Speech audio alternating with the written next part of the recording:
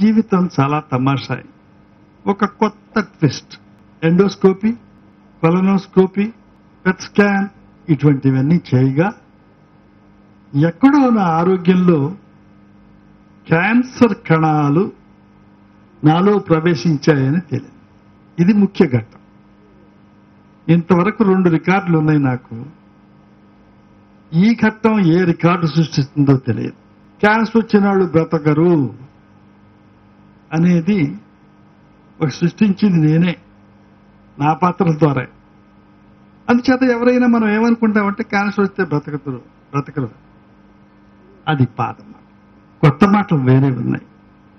అందరితో డిస్కస్ చేసిన తర్వాత ఇంటర్నేషనల్గా అందరు డాక్టర్స్తో డిస్కస్ చేసిన తర్వాత తేలింది ఏంటంటే it's not a death point it's more years living point అని తెలియదు మా అమ్మ మా కుటుంబంలో లాంగ్ లాంగ్ లివింగ్ పర్సన్ తొంభై ఆరేళ్ళు.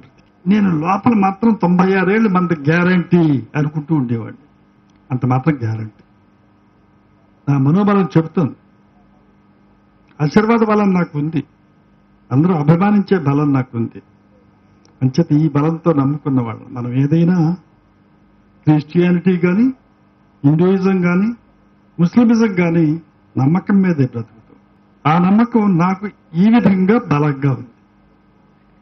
నా అభిమానికి కూడా ఆ బలం ఉంటే తొంభై ఆరేళ్ళు నా టార్గెట్ ఇప్పుడు టార్గెట్ ప్రజలందరూ సహకరిస్తే ప్రజలందరూ అభిమానిస్తే ప్రజలందరూ ఆశీర్వదిస్తే తొంభై ఆరేళ్ళు సెంచరీ కొట్టడానికి ఇలా మీటింగ్ పెట్టడానికి నాకు అవకాశం దొరుకుతుంది.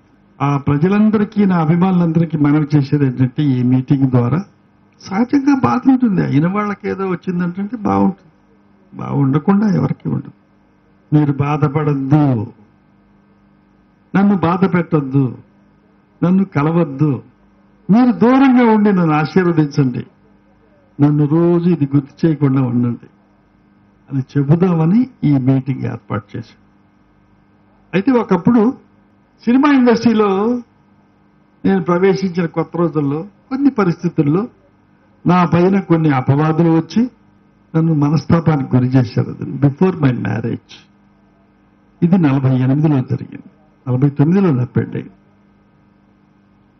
అప్పుడు నన్ను చాలా కొరతనంలో మనస్తాపం చెంది శాంతం బీచ్కి మద్రాసులో వెళ్ళాను. మోకాళ్ళ వరకు నీళ్ళల్లో దిగాను. చచ్చిపోతాను భయవేశం తిరిగి వచ్చేసాను మళ్ళీ ఏదో ఆ పేపర్లో రాయడం వాళ్ళు ఎవరు అనడం అది వేళకోళం చేయడం నన్ను. అవన్నీ చూసి మళ్ళీ వెళ్ళాను. మళ్ళీ వెళితే శీలమండలు దాటిన వరకు నేను వెళ్ళిన తర్వాత ఒక ఆలోచన వచ్చింది. నో, ఇప్పుడు మనం ఇలా చనిపోయి వాళ్ళ అపవాదుని నిజం చేయబోతున్నాం. నా అని నేను ఆల్ రాశాను. అందరికీ గుర్తుండే ఉంటుంది. కొంతమంది చదివి ఉంటారు. మొదట రాసింది దేని మూలంగా. బ్రతికి బావుకునేది లేదని చావబోకు. బ్రతికి బావుకునేది లేదని చావబోకు. చచ్చి సాధించేది లేదని బ్రతకబో. ఎందుకయ్యా బ్రతకడం? అని చావడం ఎందుకు? బ్రతికితే ఎన్నో సాధించవచ్చు చచ్చి సాధించేవి ఏమన్నా బ్రతకడం ఎందుకు? దండగా ఏ పని చేయకుండా అచీవ్ చేయకుండా. బ్రతికి జీవితాన్ని సాధించు. చనిపోయి కలకాలం జీవించు. అని మొట్టమొదటి ఆ ఆల్లో నా ఆలోచనలు రికార్డ్ చేశాను తర్వాత ఎన్నో రాశాను అనుకోండి. అలా ఈ సినిమా ప్రస్థానంలో అందరికీ మరొకసారి కృతజ్ఞతలు చెబుతూ దూరంగా ఉండి నన్ను ఈ గొడవ ఎత్తకుండా ఆశీర్వదించమని కోరుకుంటూ అందరికీ అలాగే మీడియా వారికి కూడా మీరు ఇచ్చే ఇంటర్ప్రిటేషన్ బట్టి ఉంటుంది. మీరు ఎంతెంత తెలివిగా రాస్తారో నాకు బాగా తెలుసు. ఈ డెబ్బై ఐదు సంవత్సరాల నా అనుభవంలో మీరు ఎలా తిప్పితే అలా రాయగలరు. మీ బలం కలం బలం అంత గొప్పదని నాకు తెలుసు. నాకెంతో సహకరించారు. అలాగా ఈ విషయంలో కూడా సహకరించి రాంగ్ ఇంటర్ప్రిటేషన్స్ వెళ్ళకుండా దయచేసి నా అభిమానులందరినీ ఇబ్బంది పెట్టకుండా మీరు ఇబ్బంది పడకుండా దాని రైట్ కాన్సెప్ట్ మీకు తెలియపరుస్తూ జనానికి తెలియపరుస్తూ దీన్ని ఒక ధైర్యంతో ఇది చెప్పడమే ఇది ఒక కొత్త వింత. నాకు సృష్టి లేదు అని చెప్పడానికి ప్రయత్నిస్తారు కానీ ఉన్నదని చెప్పడానికి ఎవడో ప్రయత్నించడం. ఇది ఒక కొత్త వింత. ఈ వింతను వింతగానే నవ్వుతూ నా- హాయిగా ఎంటర్టైనింగ్గా చూసుకుంటూ కళకళలాడుతూ ఉండే మా కుటుంబాన్ని ఇబ్బందిని పాలు చేయకుండా మనస్తాపాలకు గురి చేయకుండా నన్ను మనస్తాపానికి గురి చేయకుండా ఉండే విధంగా మీరు కూడా వార్తలు ప్రచురించమని ప్రజల్ని నన్ను ఆశీర్వదించమని మిమ్మల్ని కూడా ఆశీర్వదించమని కోరుకుంటూ సెలవు తీసుకుంటున్నాను. అయితే ఇప్పుడు ప్రశ్నలు ఏమొద్దు? అవసరాలు ఏముండవు? అసలు క్యాన్సర్ గురించి నాకు తెలిసినంత మీకు తెలియదు. అల్లెస్ వీఆర్ డాక్టర్ దాని గురించి బాగా అధ్యయనం చేసి మాట్లాడు. యూనో దత్తాత్రేయ న్యూయార్క్లో ఉంటారు. ప్రపంచంలో ఒక అంకాలజీలో ప్రవీణుడు డాక్టర్. ఆయనతో కూడా మాట్లాడాను. ఇగో ఇట్లా ఉన్నాయి సబ్జెక్ట్ ఏంటి? దీని గురించి ఏం బాధపడకండి ఏం లేదు నేను గ్యారంటీ. అంచేత ఇది ఎందుకు నేను బయట పెట్టాను అంటే ప్రతిరోజు ఫోన్ చేసి వాళ్ళు అవస్థ పడుతుంటే ఆ అవస్థ చూడలేక ఆ అవస్థ నన్ను పెట్టాలని కాదు వాళ్ళ అభిమానం నా పట్ల అంత గొప్పది. దాన్ని గుర్తించి పాపం వాళ్ళ ఇబ్బంది పెట్టద్దు నన్ను ఇబ్బంది మీరు పెట్టద్దు అనే ఉద్దేశంతో నేను బయటకు వచ్చి ఈ విషయాలన్నీ మీకు అందరికీ విన్నవిస్తున్నాను. ఇవన్నీ సావధానంగా ఆలోచించి మీరు పెద్ద మనసుతో దీన్ని అలాగే కడుపులో మింగేసి సంతోషంగా ఉండి నన్ను సంతోషపెట్టండి మరొకసారి అందరికీ వినయపూర్వకంగా మనవి చేసుకుంటూ సెలవు తీసుకుంటున్నాను.